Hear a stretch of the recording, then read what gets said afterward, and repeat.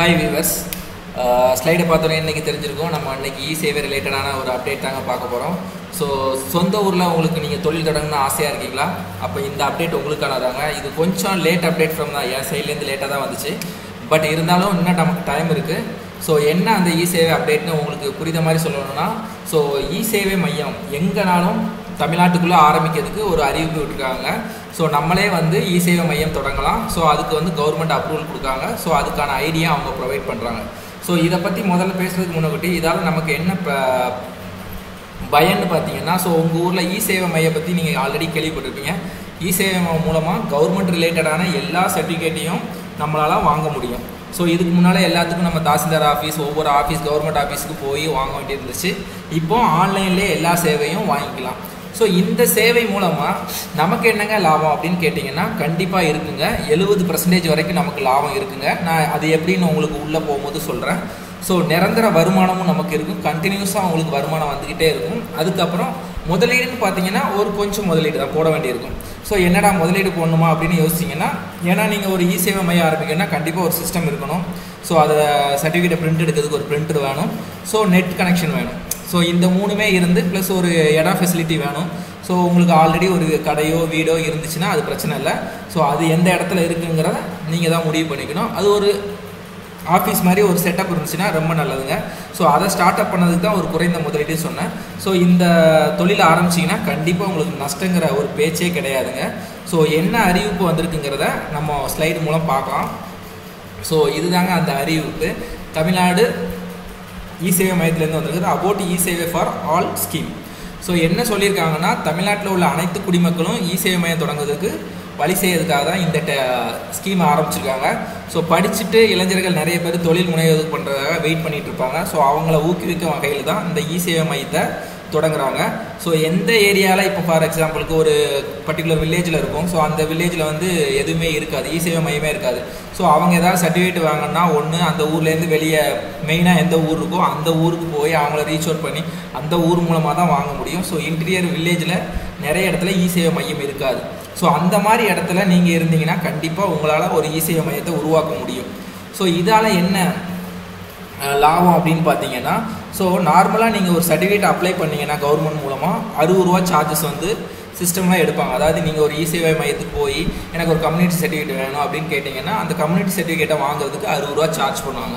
So இதுவே நீங்கள் வந்து இப்போ இந்த லாகின் ஐடி வாங்கி நீங்கள் ஒரு இசேவை மையம் ஆரம்பிச்சிட்டிங்கன்னா அதில் வெறும் பன்னெண்டு ரூபா மட்டும்தாங்க கவர்மெண்ட்டுக்கு போகும். மீதி நாற்பத்தெட்டு ரூபா உங்களுக்கு வரும். ஸோ இது எழுபது பர்சன்டேஜ் லாபம் தான் ஸோ சர்டிஃபிகேட்டை பொறுத்த வரைக்கும் மொத்தமாக நான் அது எவ்வளோ சர்டிஃபிகேட்ஸ் இருக்குது எல்லாமே நான் சொல்கிறேன் பின்னால் வரதில். ஒவ்வொன்றா பாருங்கள் கண்டிப்பாக அந்த வீடியோ யூஸ்ஃபுல்லாக இருக்கும். மிஸ் பண்ணாதீங்க. வீடியோ ஸ்கிப் பண்ணாமல் முழுசாக பாருங்கள் ஸோ இதுதாங்க அவங்க தேவையானதை என்னெல்லாம் தேவைன்னு கேட்டிருக்காங்கன்னு பார்த்தீங்கன்னா குறைஞ்சது பன்னெண்டாப்பு படிச்சிருக்கணும். கணினியில் ஒரு அறிவு கணினியில் நல்ல அறிவு மற்றும் தமிழ் மற்றும் ஆங்கிலம் படிக்க எழுத தெரிஞ்சிருந்தால் போதுங்க. ஸோ ஒரு நல்ல ஆஃபீஸ் மாதிரி ஒரு செட்டப் அமைச்சிருந்தால் போதும். ப்ளஸ் அங்கே வந்து ஒரு கணினி ஒரு பிரிண்டர் ஒரு ஸ்கேனர் பயோமெட்ரிக் சிஸ்டம் uh, வைக்கிற மாதிரி ஒரு வசதி இருக்கணுங்க. இதுதாங்க மெயினாக அவங்க எதிர்பார்க்குற சிஸ்டம் ஸோ இதோட அப்ளிகேஷன் பார்த்தீங்கன்னா இதுலேயே இருக்குது நான் லிங்க்கை நாளும் கீழே கொடுக்குறேன். அதை யூஸ் பண்ணிக்கோங்க. ஸோ அப்படி என்னங்க அந்த li- லிங்க்கில் இருக்குன்னா நீங்கள் எப்படி அப்ளை பண்ணலாம் அப்படின்னு சொல்லிக்கிற இருக்குது ஸோ இதோட கடைசி டேட் பார்த்தீங்கன்னா இருபத்தெட்டு நாலு ரெண்டாயிரத்தி இருபத்தி மூணு. ஆக்சுவலாக இதோட டேட் பார்த்தீங்கன்னா ரொம்ப நாளாக தள்ளி தள்ளி வந்துகிட்டு இருக்கு. ஸோ இதோட லாஸ்ட் டேட் பார்த்தீங்கன்னா ஏப்ரல் பதினாலு முதல்ல இருந்துச்சு. ஸோ சர்வர் பிரச்சனை கொஞ்சம் இருக்குது நிறைய பேர் அப்ளை பண்ண முடியலை அப்படின்னு சொல்லிட்டு அதை எக்ஸ்டெண்ட் பண்ணி இருபத்தொன்று வரைக்கும் கொண்டு வந்தாங்க.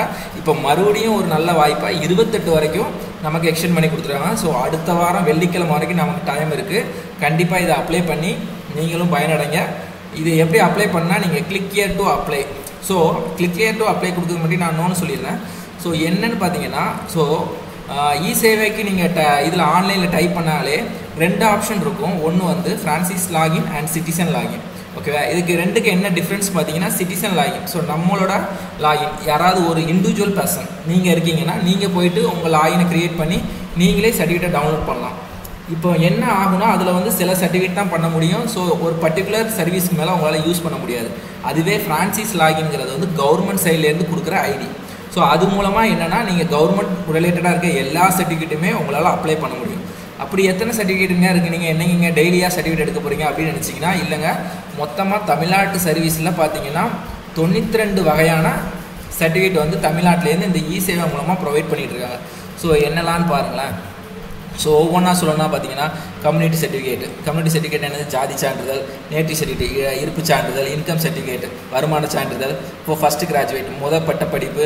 ஸோ அதுக்கப்புறம் விடோ சர்டிஃபிகேட் அதுக்கப்புறம் ரெசிடென்ட் சர்டிஃபிகேட் நீங்கள் இருக்கிறதுக்கான இடத்தான சர்டிஃபிகேட்டு அன்மேரிட் சர்டிஃபிகேட்டு லைசன்ஸ் ரிலேட்டடாக சர்டிஃபிகேட்டு ஸோ ஒவ்வொன்றுக்கும் ஒவ்வொரு சார்ஜஸ்ங்க ஸோ அது மட்டும் இல்லாமல் உங்களுக்கு இப்போ registration of licence under boiler act அதுக்கு டூ ஹண்ட்ரட் ருபீஸ் ஸோ ஒவ்வொன்றுக்கும் ஒவ்வொரு மாதிரி சார்ஜஸ் வந்து அப்ளிகபிள் ஆகுது.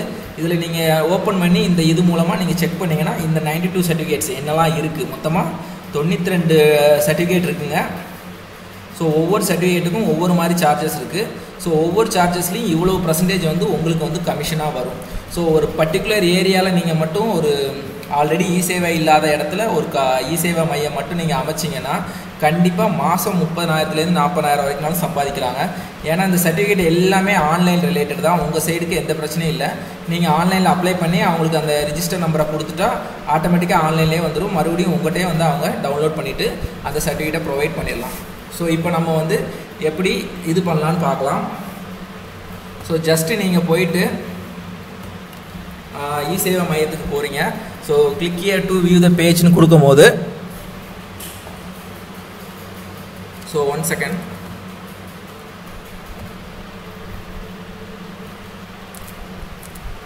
ஸோ இதில் வந்து நீங்கள் கிளிக் இயர் கொடுத்தீங்கன்னா ஸோ இதோட அப்ளிகேஷன் பேஜ் போகுங்க. இதில் வந்து உங்களோட மொபைல் நம்பரை ஃபஸ்ட்டு என்ட்ரு பண்ணுங்கள்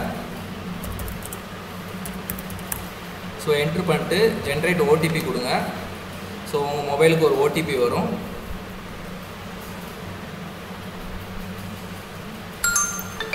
ஸோ ஓடிபி என்ட்ரு பண்ணுங்கள் தென் வெரிஃபை ஓடிபி கொடுங்க. ஸோ இதாங்க அந்த ரிஜிஸ்ட்ரேஷன் ஃபார்மு ஸோ இந்த ஃபார்மை தான் நீங்கள் ஃபில் பண்ணி சப்மிட் பண்ணணும். ஸோ அப்ளிகேண்ட் டீட்டெயில் ஜஸ்ட்டு உங்களோட விண்ணப்ப பெயர் உங்கள் அப்பா பேர் என்ன ஜென்டர் எல்லாம் நேரம் மாவட்டம் உங்களோட கல்வி தகுதி என்ன படிச்சிருக்கீங்க உங்களோட ஆதார் கார்டு வெரிஃபிகேஷன் ஸோ இந்த மாதிரி டீட்டெயில் எல்லாமே இந்த ஃபஸ்ட் பேஜில் அப்ளிகேட் டீட்டெயில் இருக்கும். ரெண்டாவது வந்து சென்டர் டீட்டெயில் ஸோ நம்மளால் ரெண்டாவது பேஜ் போக முடியாது ஒவ்வொன்றா அப்ளை பண்ணி அப்ளை பண்ணி போக முடியும். நான் ஜஸ்ட்டு ஒரு டெமோ மட்டும் ஓவர் வியூ சொல்கிறேன் ஸோ நீங்கள் அப்ளை பண்ணும்போது ஈஸியாக இருக்கும் பார்த்துக்கோங்க. ஸோ சென்டர் டீட்டெயில்னால் பர்டிகுலராக நீங்கள் எந்த பிளேஸில் வந்து இப்போ சென்டர் போட போகிறீங்க ஆல்ரெடி அது நியர்பையில் ஏதாவது இருக்கா? எல்லா டீட்டெயிலுமே அதில் அப்ளிகேட் பண்ணுற மாதிரி இருக்கும். இன்ஃப்ராஸ்ட்ரக்சர் செக்லிஸ்ட் ஸோ அவங்க என்ன கொடுத்துருப்பாங்கன்னா நான் ஆல்ரெடி சொன்ன மாதிரி கணினி இருக்கா பிரிண்டர் இருக்கா? அதாவது கம்ப்யூட்டர் பிரிண்டர் ஸ்கேனர் அதுக்கப்புறம் பயோமெட்ரிக் சிஸ்டம் ஸோ இந்த மாதிரி நாலு ஐட்டம் இருக்கா? ப்ளஸ் சேர்ஸ் எப்படி இருக்குது மக்கள் வந்து அது டோக்கன் சிஸ்டம் எப்படி போடலாம்? ஸோ நிறைய மக்கள்ஸ் வந்து அதை எப்படி கண்ட்ரோல் பண்ணுவீங்க? ஸோ குடிநீர் வசதி அங்கே இருக்குமா? ஸோ இந்த மாதிரி இன்ஃப்ராஸ்ட்ரக்சர் ரிலேட்டடான கொஸ்டின்ஸ் இருக்கும். சும்மா நீங்கள் டிக் மார்க் கொடுக்குற மாதிரி தான் இருக்குங்க. அடுத்து பேங்க் டீட்டெயில் ஸோ நீங்கள் அப்ளை பண்ண அப்ளை பண்ண பேஸ்ட் ஆன் த நீங்கள் எவ்வளோ சர்டிஃபிகேட் அப்ளை பண்ணுறீங்களோ அதுக்கு ஏற்றப்பல காசு வந்து உங்கள் அக்கௌண்ட்டுக்கு வரும். ஸோ அந்த அக்கௌண்ட் டீட்டெயிலு ஸோ லொக்கேட் ஒரு ஏரியானா ஸோ உங்களோட மேப் காமிக்கும். ஸோ அந்த மேப்பில் கரெக்டாக அந்த இடத்துல எந்த இடத்துல சென்டர் வரப்போதோ அந்த சென்டரை கரெக்டாக நீங்கள் மேப் பண்ணிக்கோங்க. அதுக்கப்புறம் ப்ரூஃப் ஆஃப் ஐடென்டிட்டி ஸோ அதுக்கப்புறம் என்னென்ன ப்ரூஃப் அவங்க கேட்குறாங்க அதுக்கு இப்போ ஆதார் கொடுத்தாங்கன்னா ஆதாரோட ப்ரூஃப் வந்து நீங்கள் அப்டேட் பண்ணுற மாதிரி இருக்கும். லாஸ்ட்டாக டேர்ம்ஸ் அண்ட் கண்டிஷன் கொடுத்துட்டு சப்மிட் பண்ணுற மாதிரி இருக்குங்க. அவ்வளோதாங்க நீங்கள் அப்ளை பண்ணிட்டீங்கன்னா நீங்களும் ஒரு கவர்மெண்ட் எம்ப்ளாயினே சொல்லலாங்க. ஸோ கவர்மெண்ட் ரிலேட்டடான எல்லா சர்டிஃபிகேட்டையும் உங்களாலேயே டவுன்லோட் பண்ணி மக்களுக்கு சேவை பண்ண முடியும். ஸோ இது சொந்த ஊர்லேயே கிடைக்கிறது ரொம்ப கஷ்டம்னாங்க ஸோ சொந்த ஊர்லேயே ஒரு நல்ல வருமானம் குறைஞ்சது இருபதுலேருந்து முப்பதனாயிரம் வரைக்கும் நீங்கள் மாதம் சம்பாதிக்கலாம். கண்டிப்பாக இதை யூட்டிலைஸ் பண்ணி யூஸ் பண்ணி பயன்பெறுங்க. அவங்க சொல்கிற இன்ஃபர்மேஷன் உங்களுக்கு யூஸ்ஃபுல்லாக இருந்துச்சுன்னா கண்டிப்பாக எங்கள் சேனலை லைக் பண்ணுங்கள் ஷேர் பண்ணுங்கள் சப்ஸ்கிரைப் பண்ணி அதோட அந்த பெல் பட்டனையும் கிளிக் பண்ணிக்கோங்க.